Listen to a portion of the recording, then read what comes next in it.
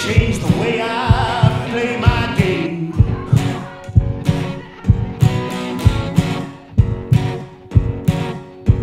Tell me.